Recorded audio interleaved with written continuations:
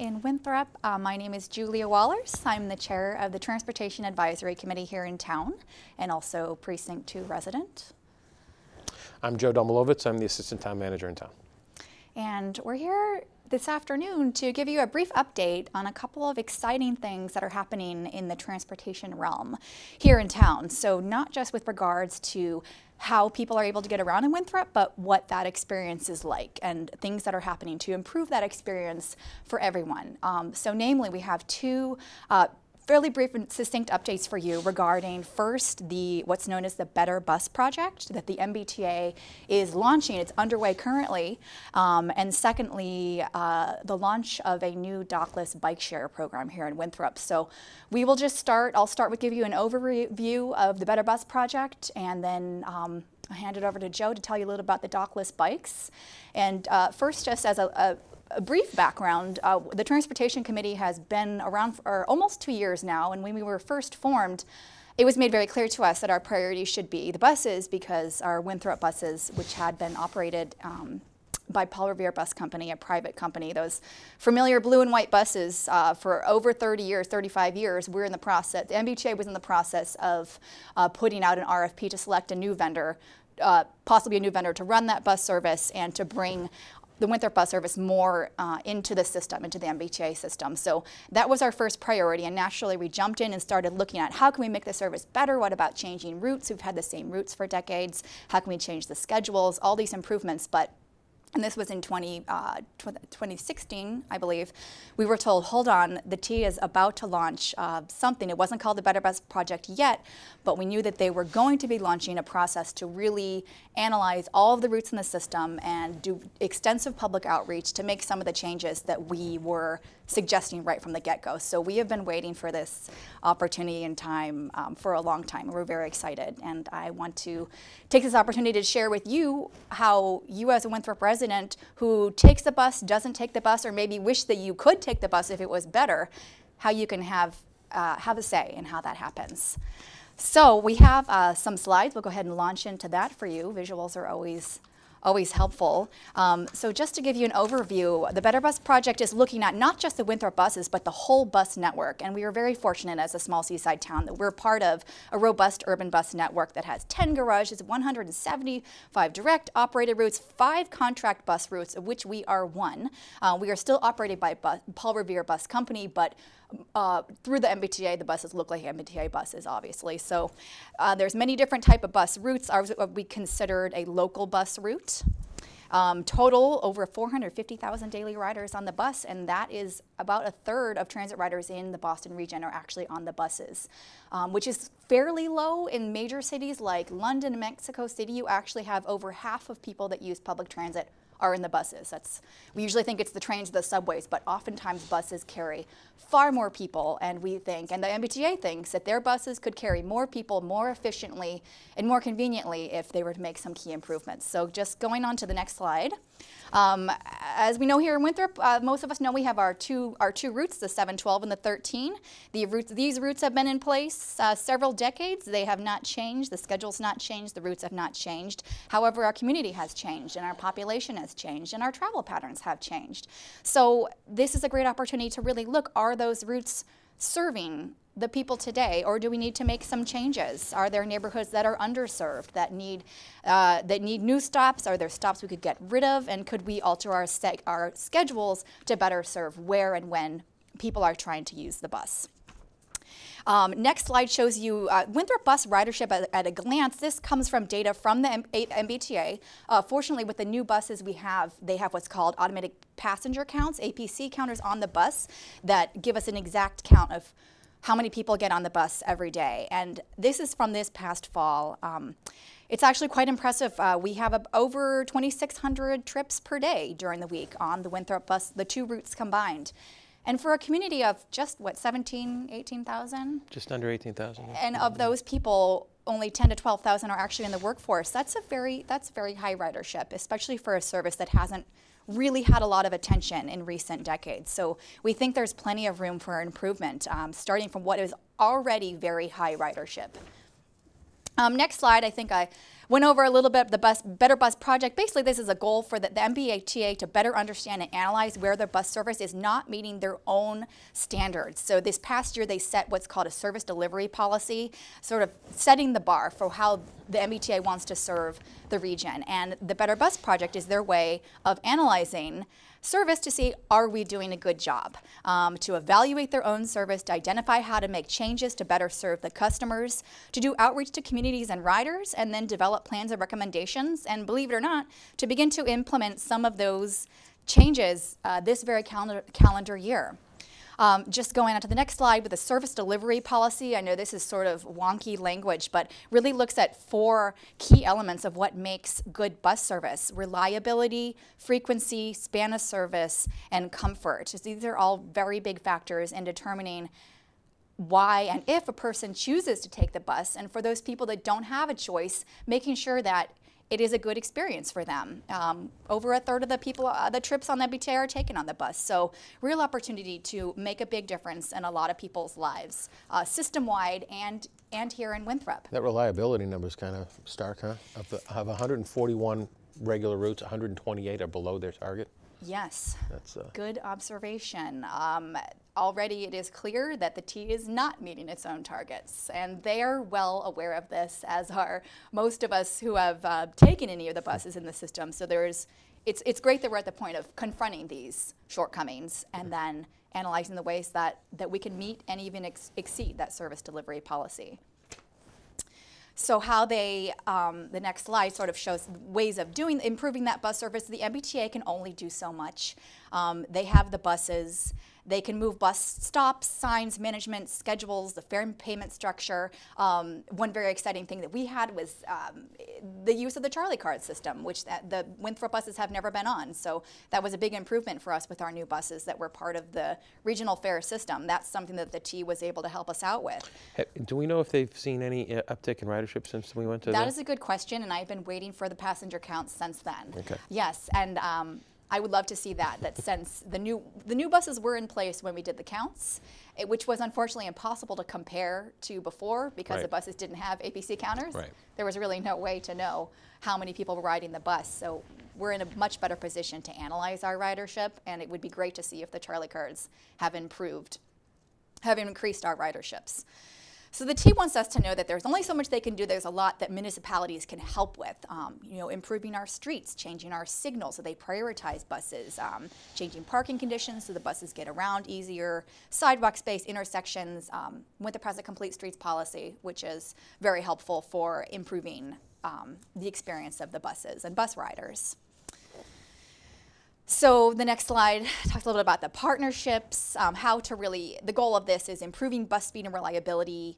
Um, I think I mentioned already that the tools are there places that we can relocate stops, consolidate stops, um, little infrastructure things, which there can be funding for uh, bus bulbs so that the bus doesn't have to pull in and out of traffic. Uh, we're lucky in Winthrop we don't have more than two lane roads, so there's really nowhere where the bus is going to be having to weave in and out of traffic, but just making, uh, making space for people to board more easily can make a big difference. Um, and queue jump lanes, treads and signal priority, these are all things that are happening around the region um, to make be buses better and we have an opportunity to get in on that action.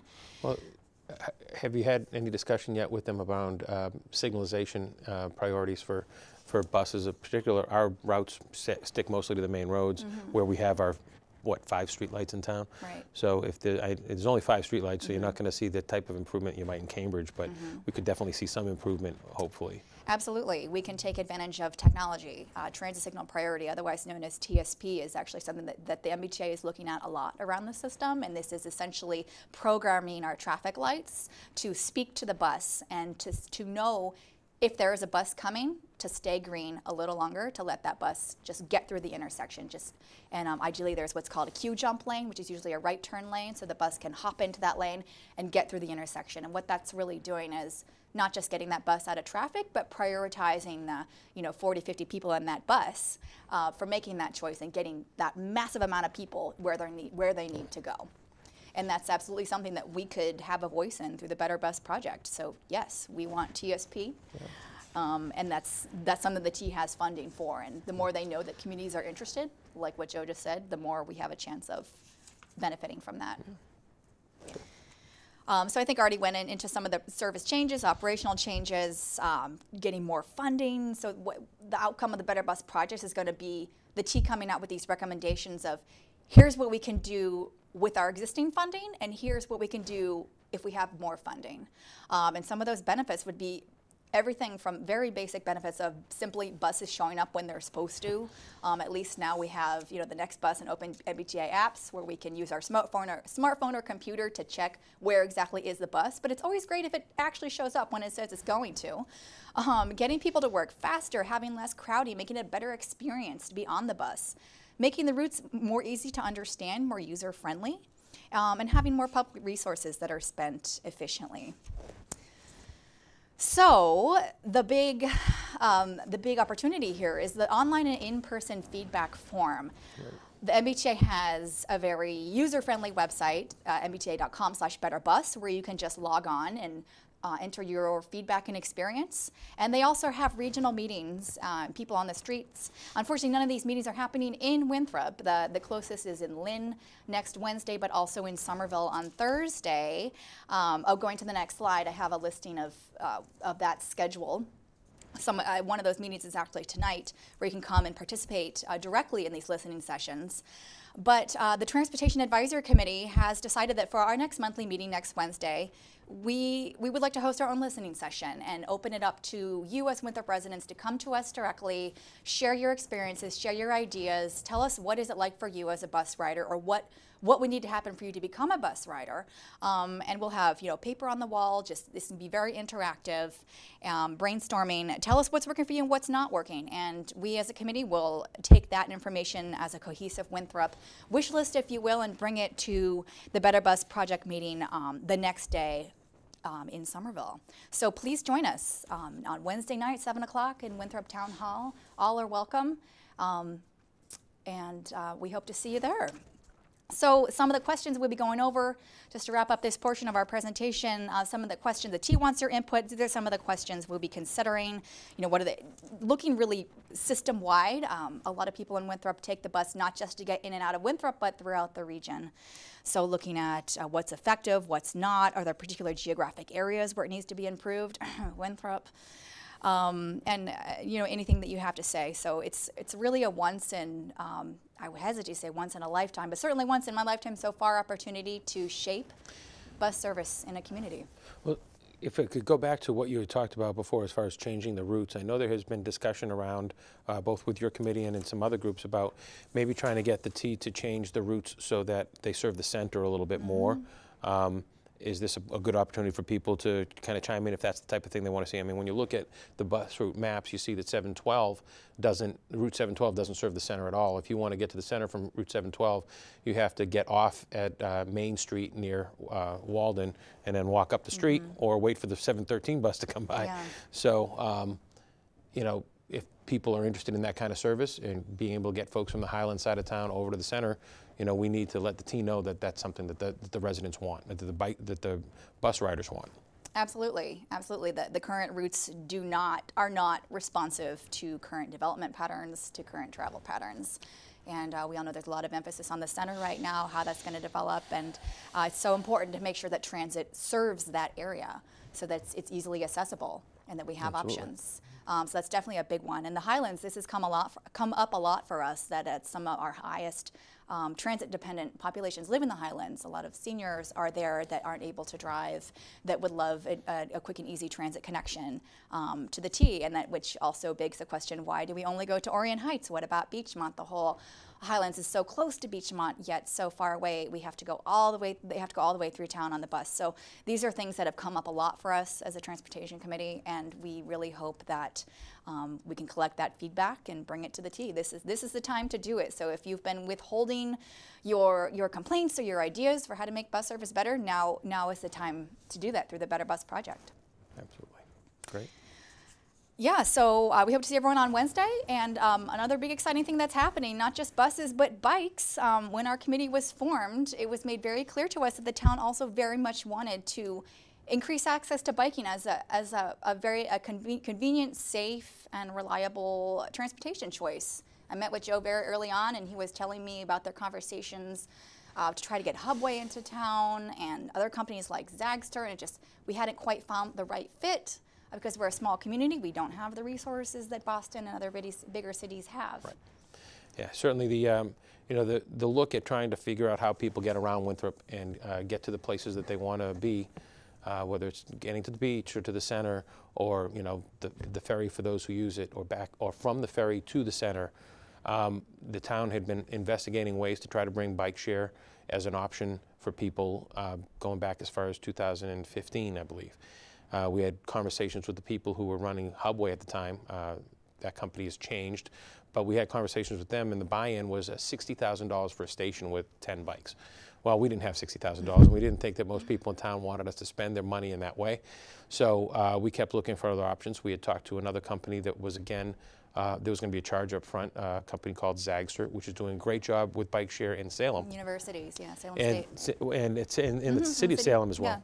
Yeah. Um, but um, again, they, they had a buy-in. It was much lower, um, but it was still a buy-in. And uh, while we were chewing on that and trying to figure out how we could afford it, um, the Metropolitan Area Planning Council last summer uh, opined that they had had had interest from a number of different municipalities around Greater Boston that wanted to pursue um, dockless bike share. So without the docking stations like the Hubway system in Boston, these are the bikes that you saw per perhaps in Revere last year or driving around the region into Malden. You would have seen the, uh, at the time it was yellow OFO bikes. Yeah, we actually have a great slide that shows you exactly what dockless bikes look like.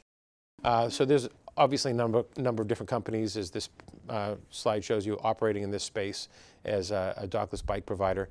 And what the municipalities uh, and MAPC decided to do last fall was to go out and do a regional procurement.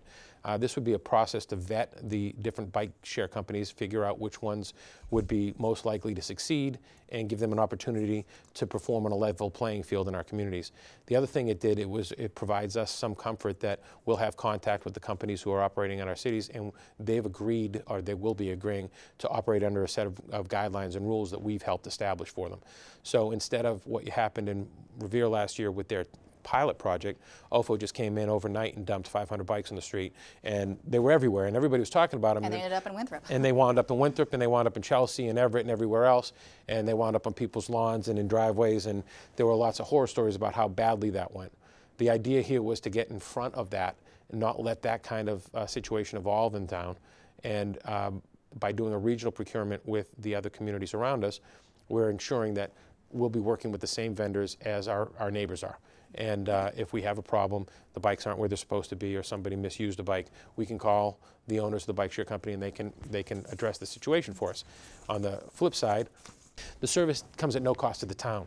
The town does not have to pay any upfront charges. This is all uh, free of charge. In fact, the agreements do allow for us to charge a very nominal fee per month uh, per bike uh, that's still being negotiated, so I won't say what that is, but the town will take that money and put it into a fund that will be used to help uh, improve bike infrastructure. We can buy bike racks or signage or do different things to help make biking around Winthrop a little bit easier and safer. Um, and safer for everybody.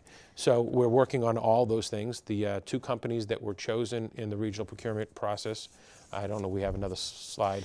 Um, yeah, I just wanted to just back up really quick yeah. to actually define, um, if you can just go back to the slide, uh, what, what makes dockless bike share different from uh, docked bike share, which we're mostly familiar with, is that literally they do not have to be parked anywhere in particular.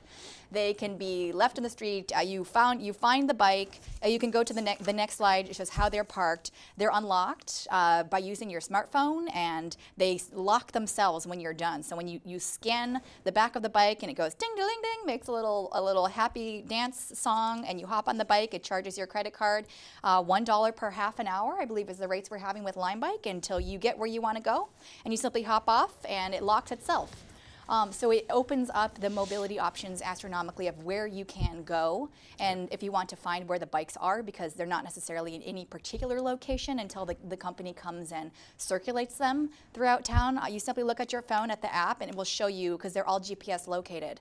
Um, they'll show you where they are in town. That, that's a great slide, yeah. So on the flip side of that, if somebody thinks they're going to be smart and just take one home and leave it in their backyard, um, unfortunately the company is going to know that it's there and they'll just come and come and pick it up. Um, every day the companies who are operating these these uh, dockless bikes will be coming to all the towns as part of this regional consortium and making making sure the bikes are recirculated throughout town Right. in uh, designated areas. Right.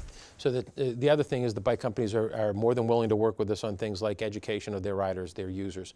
Um, they'll be uh, they'll they'll be handing out and we'll be helping them hand out uh, information to everybody on how to properly pike a, park a bike out of the public way uh, where they're unobtrusive. So you pick up your bike at one of the hot spots in town in the morning, you take it to wherever you want to go, then you decide you don't need the bike. It stays there parked appropriately.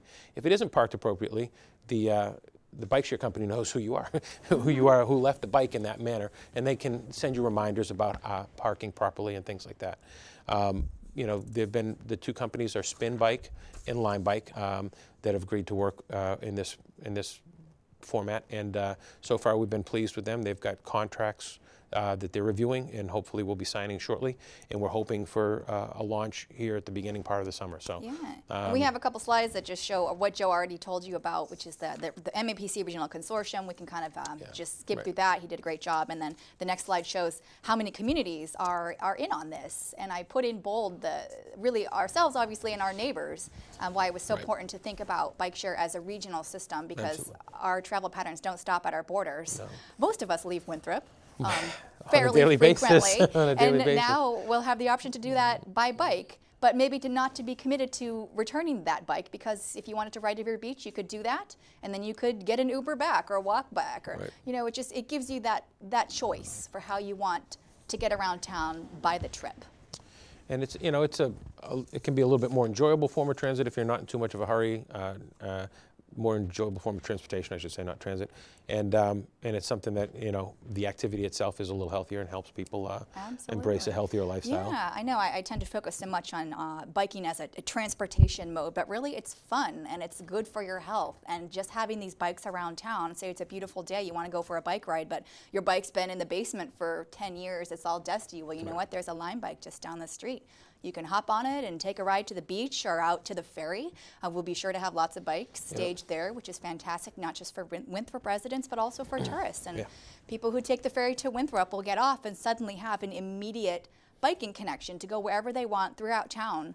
Um, or even outside of town, so it really opens up uh, opportunity, economic opportunities, health opportunities, and uh, leisure opportunities for everybody. And the, the landing will be one of the one of the 20 or so hot spots that we've ident- that we're identifying in the contract. So there'll be bikes every morning and every night at the at the hot spots. And during the course of the day, that might move around. And the bike share companies have rules about if a bike doesn't move from a particular area uh, in three or four days, they'll move it them they'll move it somewhere where to a higher traffic area. Obviously, the bike share companies want the bikes to be used. They don't want them to be in the back neighborhoods and people's backyards where they can't be used. So. Um, you know, and, and uh, they'll provide hot, hotlines. So if, if we see that there's a, a problem with one of their bikes or a bike is damaged or someplace where it shouldn't be, we notify the company. They'll come out and take care of it right away. So Absolutely, yeah. And so just going, uh, we have a slide here about you know really what's what's next for Winthrop. Well, this is just some of what we already talked about, what bike share can offer, and uh, for us in Winthrop, we do have a- a textbook last mile, what's called the first mile last mile gap, from both transit stations. So it really provides another connection for how to get there. I've talked a lot about buses, and we love buses, but the buses are crowded and sometimes they're not on time. We hope they will soon be on time and run very well, but if it's a beautiful day, you want to ride a bike.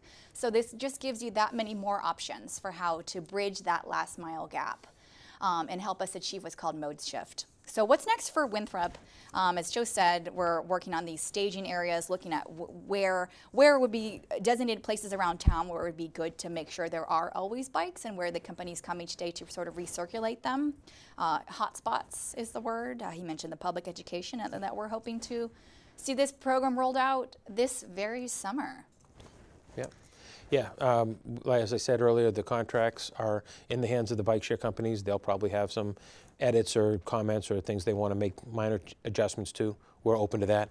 Uh, we'd like to have them get that to us by next week, uh, settle on the final terms of the contract, and, and we'll sign, and then we'll be able to announce what the launch date is. So look, look for the town manager's blog and the town website, announcements in WCAT, uh, through Julia's Facebook posts. Yeah, yeah. And uh, we'll get the word out when, uh, when uh, spin bike and uh, Lime bike will be coming to town. Yeah, yeah, we're hoping to have a few of them out um, for display at the Holiday Festival in a few weeks on June 12th at the ferry landing Yep. to show how fun it is to grab a bike uh, as part of, you know, as, it's really part of what makes the ferry successful is that there's a biking connection.